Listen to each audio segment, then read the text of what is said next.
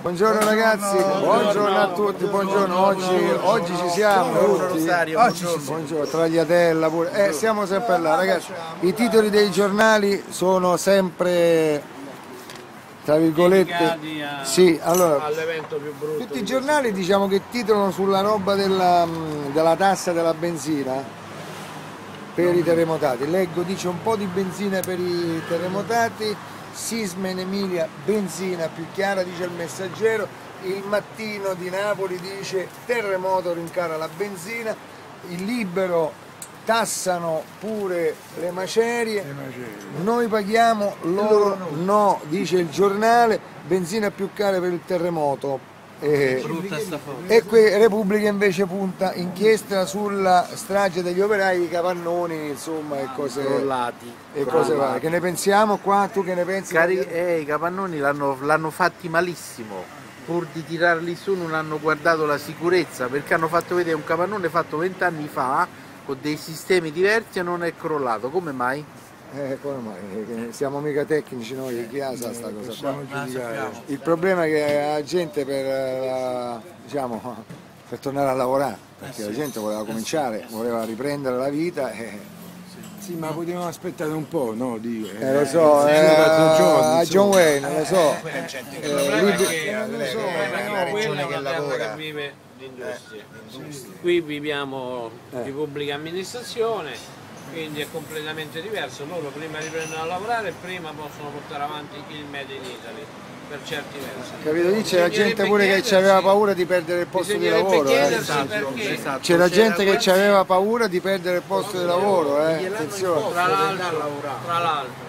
E bisognerebbe anche chiedersi come mai le chiavi di aggancio trave pilastro non sono state mai fatte come invece già la legge dal 1965 impone sui capannoni industriali. Possiamo fare un saluto a tutti gli amici emiliani che veramente come? ieri vedendo le immagini dei vari TG sta gente è proprio disperata, proprio disperata. disperata. E anche noi... un appello se magari hanno tutto sto parmigiano veramente che non si se fanno delle, dei viaggi a Roma nelle piazze. Ma chi fa i viaggi? Vedi, c'hanno proprio. Ho chi... capito, delle ditte, qualcosa, noi ci impegniamo a farglielo vendere, almeno rientrano di qualche soldo, eh. invece di buttarlo, perché non è possibile. Si no, vendono i fiori sulle piazze, si vendono le arance, esatto. si vende quello, si vende E si venderà pure il parmigiano emiliano. Non portano il parmigiano a vendere ai piazze. Bravo, eh. appunto, sarebbe una cosa da fare questa, poraccia. Vabbè.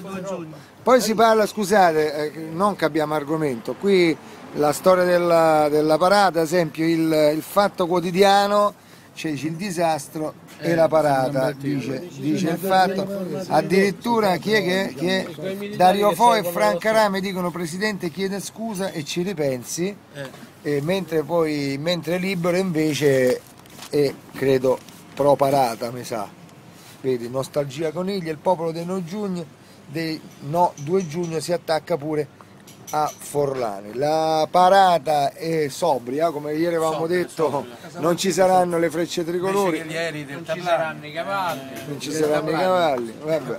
c'è il rischio che vuol dire? Eh? A motore. E quindi che aspirata si fa. Poi ci sono quelli che dicono tanti soldi erano stati già spesi. Eh. Quelli che dicono no, se insomma eh, siamo sempre noi italiani, non si sa, non si sa non si sa mai. Che la tassazione che faranno adesso sulla benzina bisognerà vedere se realmente poi arriva a loro. Eh, eh, questo, è anche questo è un grosso punto interrogativo. Questo è un grosso punto interrogativo. Noi già da stamattina Scusa, la paghiamo. Questo è il grosso interrogativo. Noi stiamo a pagare ancora il Belice Apposta. e stiamo a, a pagare ancora Avellino. Apposta ma questi soldi no? chi sono nati? Oh. Apposta dico. Noi eh. già stamattina Scusa, ma questi soldi a chi sono nati? Con una c'ha ragione Cesare, c'ha ragione Cesare. Sempre ci sono state le accise, sempre. ma ancora le paghiamo e ancora le paghiamo. Il problema è che poi quei posti non sono stati ricostruiti. Esatto. Scusa, G8 alla Maddalena, il famoso G8 alla Maddalena, ragazzi. Tutti Ammazza. quei soldi. Dove sono Mazza come va, va eh. Scusa, Rosato, no, no, eh, scusa. I soldi che abbiamo dato a loro, no? Eh. Al Belice, all'Irpinia, quelli intanto abbiamo pagati, li dessero all'Emilia, no? Perché devono aumentare la benzina?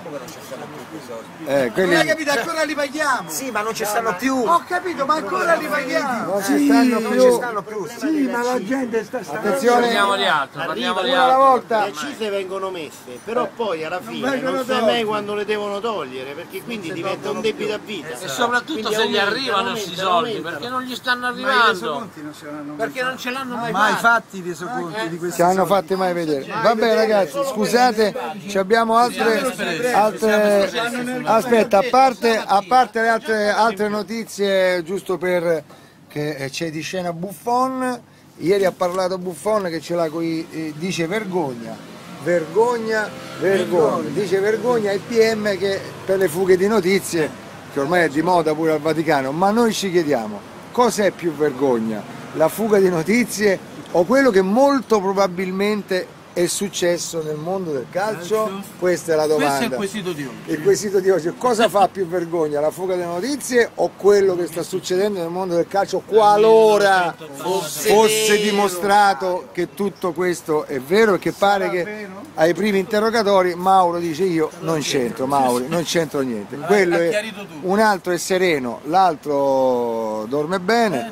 Sì, Secondo me lo sa lo fanno apposta. eh. Perché nel 2006 abbiamo vinto il mondiale, ora vinciamo gli europei. solo per vincere. Scusate amici, prima di chiudere eh, parliamo di Chico Forti, perché ieri la dottoressa Abruzzone è stata a parlare con chi di dovere per eh, la questione, per far riaprire il processo Chico Forti. La risposta è in una mail che la dottoressa Abruzzone ha mandato a Redderon e che lui mi ha girato e che, io, e che noi abbiamo stampato ovviamente a mano perché noi non ci abbiamo le stampate. abbiamo E fatti. dice la dottoressa Bruzzone dice Ciao, quanto all'incontro di oggi con il responsabile degli italiani all'estero, in sintesi questa è la situazione.